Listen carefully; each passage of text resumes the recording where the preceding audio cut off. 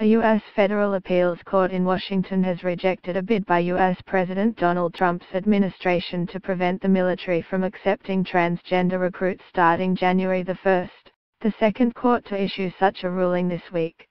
Three federal judges around the country have issued injunctions blocking Mr. Trump's ban on transgender people from the military. The administration has appealed against all three rulings.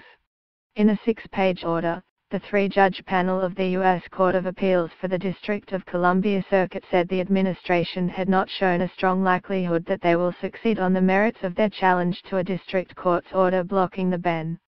On Thursday, local time, the Richmond, Virginia-based 4th U.S. Circuit Court of Appeals said it was denying the administration's request while the appeal proceeds. The two courts' actions could prompt the administration to ask the conservative majority U.S. Supreme Court to intervene. The administration had argued that the January 1 deadline for accepting transgender recruits was problematic because tens of thousands of personnel would have to be trained on the medical standards needed to process transgender applicants, and the military was not ready for that. The Obama administration had set a deadline of July 1, 2017, to begin accepting transgender recruits, but Mr. Trump's defense secretary, James Mattis, postponed that date to January 1.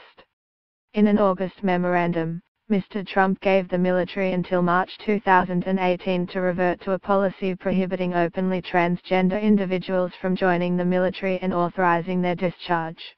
The memo also halted the use of government funds for sex reassignment surgery for active duty personnel. Reuters